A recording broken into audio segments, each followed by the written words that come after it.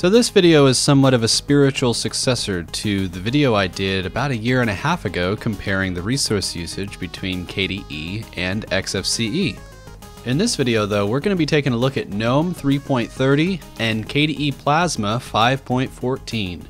Now, as you know about Linux desktop environments, the desktop itself is just as important as the distro it's running on, and in this one, we're going to be using Manjaro as the base distro. Now, Manjaro probably sounds like a weird choice, but I explain why I use Manjaro at the end of this video, so in the first part of the video, I'm going to be comparing the system resource usage side by side in a pair of virtual boxes. At the end of the video, I'm going to be looking at some game benchmarks. Now, obviously, I won't be doing the gaming in VirtualBox, I'll be doing it on actual hardware, but I like having the two desktops side by side, so we're going to be using VirtualBox for this. So, since KDE and GNOME use two completely different system monitors, I wanted to see which one I could install that was the most lightweight and required the fewest dependencies. I'm sure nobody's surprised to see that KSysGuard, which is KDE's system monitor, has a absolute ton of dependencies.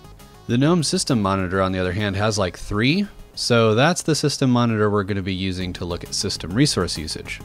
Now, I didn't do any sort of timing when it came to booting into either desktop, though I will say that GNOME booted in faster, and I restarted both of the machines at the exact same time with hotkeys. KDE not only took longer to actually load into the desktop, like get past the display manager. But KDE also has this weird like boot screen. I'm not exactly sure what the purpose of it is. GNOME doesn't have it, and as soon as you get past the display manager, GNOME is ready to rock and roll. KDE has to do like preloading or something. But either way, KDE took probably 15 to 20 seconds longer to get to the desktop than GNOME did.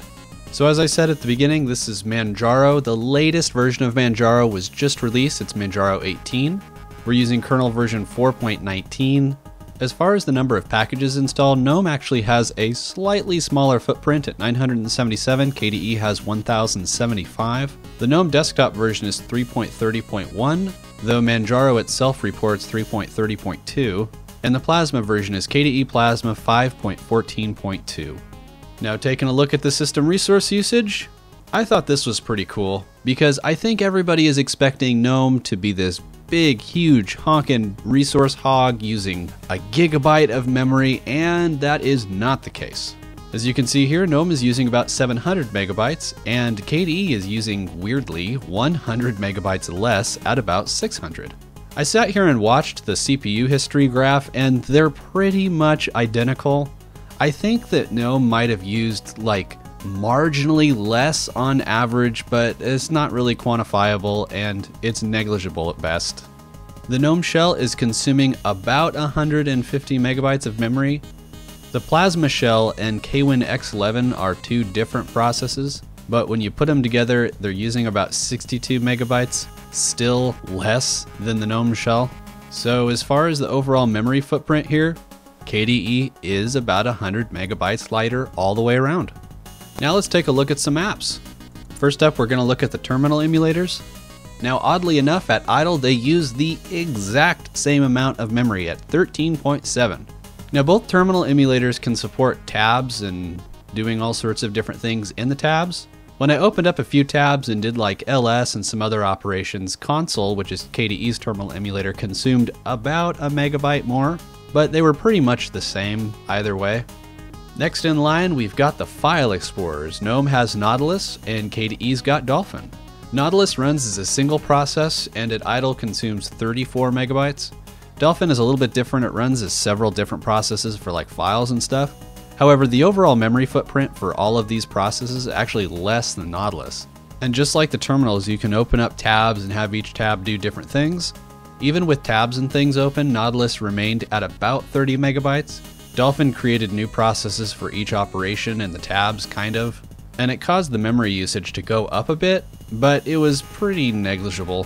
I think in general, Dolphin is a lighter weight, in quotes, file manager than Nautilus is, but they're so close that it doesn't really matter the difference. And now let's take a look at the text editors. We've got gedit on GNOME and Kate on KDE.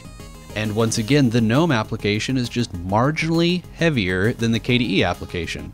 However, I've been kind of ignoring the disk read and disk write because I'm not 100% sure what those are. For whatever reason, Kate has more disk read total than gedit does. And once again, with the tabs, you open tabs up and have each tab kind of doing its own thing. gedit consumes more memory than Kate does. And just like pretty much every KDE application, Kate spawns subprocesses. But even when you add those subprocesses, it, still comes in just a little bit lower than gedit does. Now, I was looking for other programs to test and compare against, but much to my surprise, there aren't a lot of one to one comparison with GNOME and KDE apps.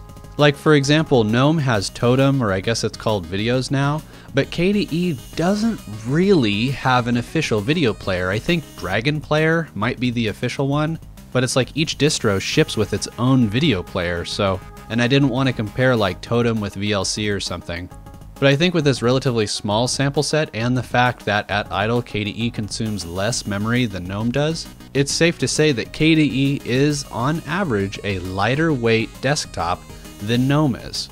Now, unlike previous benchmarks that I've done in the past, where each graph is kind of its own section in the video, I'm just going to put all four graphs here and I'm going to talk about them.